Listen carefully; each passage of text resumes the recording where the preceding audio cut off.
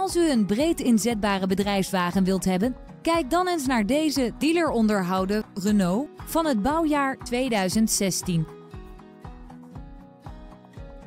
Deze bestelwagen is voorzien van praktische en comfortabele extra's zoals een boordcomputer, elektrisch bediende ramen en elektrisch verstelde en verwarmde buitenspiegels.